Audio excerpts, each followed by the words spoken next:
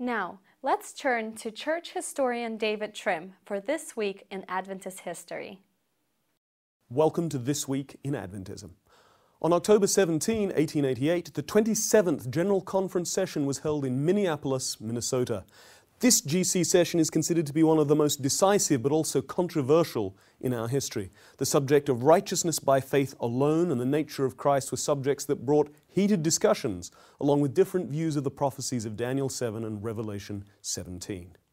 The same day, in October 17, also 1888, Ola Olsen was elected the eighth president of the General Conference, succeeding George Butler, who had in some eyes been discredited by his opposition to righteousness by faith. Olsen was the first president to be born outside the United States. He was an American by upbringing and nationality because his parents immigrated from Norway to the US when he was five. In 1873, he'd been elected president of the Wisconsin Conference and supported the formation of Scandinavian and German language schools in the Midwest. And while he was GC president, he really reinforced the global outreach of our church. And so did William A. Spicer, who died on October 17, 1952.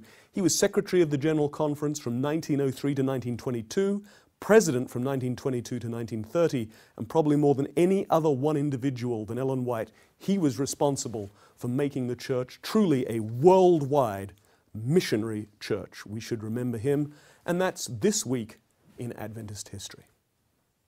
Thanks for joining us for ANN Weekly. Tune in next week for more news from the headquarters of the Seventh day Adventist Church. Until then, visit news.adventist.org for daily news and videos. God bless.